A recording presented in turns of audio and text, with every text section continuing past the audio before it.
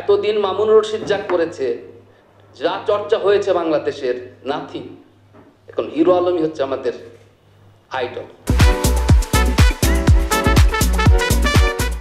আলোচ্য ব্যক্তিটি পেছনে একটা বড় শক্তি কাজ করছে।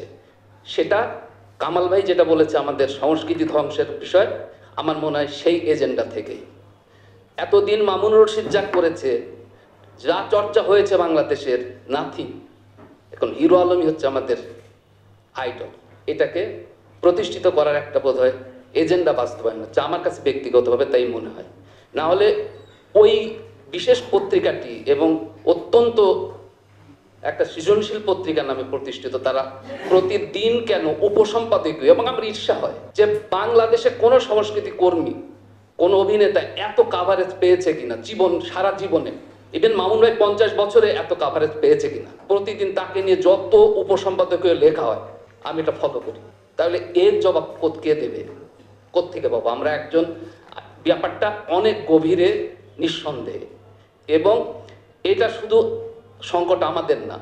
যে লোকটি বাংলাদেশের দ্বিতীয় ক্ষমতাসীন ব্যক্তিটিকে চ্যালেঞ্জ করে, আর কি থাকে সেখানে? এতটাই শক্তিশালী, এবং এত ভয় পাই আমি। এবং আমরা আর কিছুদিন পর ভয় পেতে হবে এই লোকটির নাম উচ্চারণ করতে, আমার ধারণা। এবং তার কিন্তু কিছু সিমটম লক্ষ্য করেন আপনারা। যে ডিবি অফিসের যে লে- লোকটি তাকে রবীন্দ্রসঙ্গীত বিকৃত করার জন্য ডেকে নিয়ে মুসলেকা নিয়েছিল, সে কিন্তু ছবি তুলে পোস্ট করে, ছবি তুলেছে তার সাথে। অতএব তাকে ভয় পাচ্ছে নিশ্চয়ই, কারণ তার একটা বড় বাহিনী তৈরি হয়ে গেছে। তো এই বিষয়গুলো আমার মনে হয় যে মাথায় নিয়ে হালকাভাবে দেখার কোনো কারণ নাই। এবং তুষার ভাই যেটা বলেছেন, সেখানেও অনেক যুক্তির কথা এবং এইভাবেই আগাতে হবে। কিন্তু আমাদের জায়গাটা চিহ্নিত করা খুব জরুরি আমার মনে হয় যে কারা করছে এবং কি উদ্দেশ্যে করছে। ছাত্র রাজনীতি শেষ, সংস্কৃতি শেষ করে এবং যে লোকগুলো প্রান্তিক অবস্থায় চর্চা করে যাচ্ছে, তাদেরকে সাইজ করে ভেতরে ঢোকাও।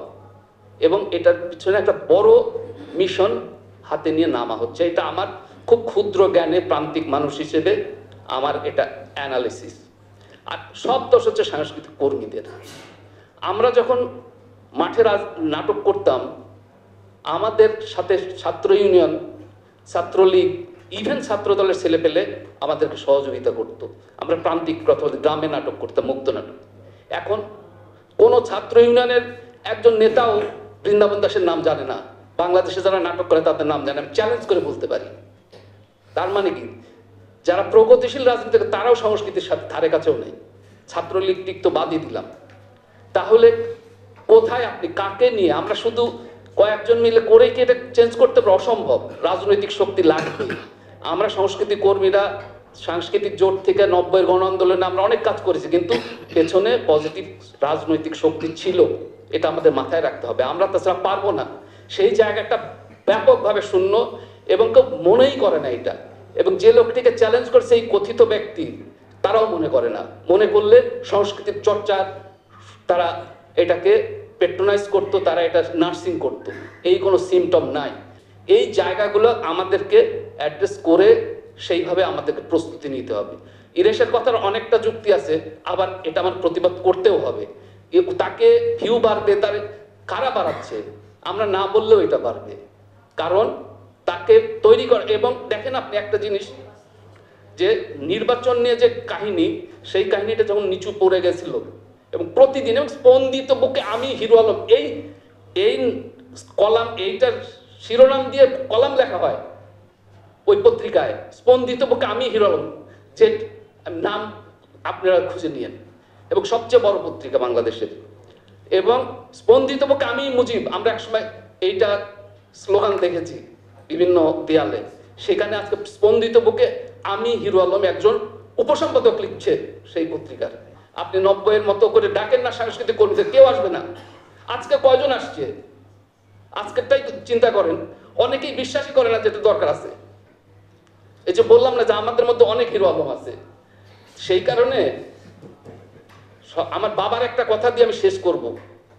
সংস্কৃতি কর্মীদের ব্যাপারে আমার বাবা সংখ্যালঘুদের নিয়ে একটা উপমা দিয়ে একটা গল্প বলতো, একটু অ্যাডাল তারপরে বলতে চাই, আজকে আমাদের অবস্থা, এই যে মুক্তিযুদ্ধের পক্ষে শক্তি অমক তমক আমরা হচ্ছে সানাইয়ালা মামুর রশিদ হচ্ছে সানাই বাজায়। তো একজন রাজা, ওই বাদ্যকরদের ডাকছে যে, বাজনা বাজাও। তো সানাই আছে জয় ঢাক বলে, ঢোল আছে সবাই গিয়ে বাজাচ্ছে। রাজা ঘোষণা দিল যে ভালো বাজালে যার যে যন্ত্র, সেই যন্ত্র ভরে ভরে আমরা টাকা দেবো তো সবাই তো খুব খুশি জয়টা, কিন্তু সানাই এলার মনে খুব দুঃখ। তো তার তো টাকা আটবে না, সানাইয়ের মধ্যে কয় টাকা? তার খুব দুঃখ। তারপরে হঠাৎ করে রাজা ঘোষণা দিল যে যে খারাপ বাজাইলে যার যে যন্ত্র, সেটা পঞ্চাশ দিক ঢুকাই দেবো মানে পাঁচের মধ্যে ঢুকাই দেবো। কোনো যন্ত্র ঢুকবে না, সানাই ঢুকবে তাইলে ঘুরে ফিরে সানাই আলারই মরণ। আজকে মুক্তিযুদ্ধের পক্ষের শক্তি আমাদের টাকা দিচ্ছে, ওই যে সংস্কৃতি বাজেট সবচেয়ে কম। আবার ঘুরে আসুক অন্যটা, দিয়ে দিতে ধন্যবাদ সবাইকে।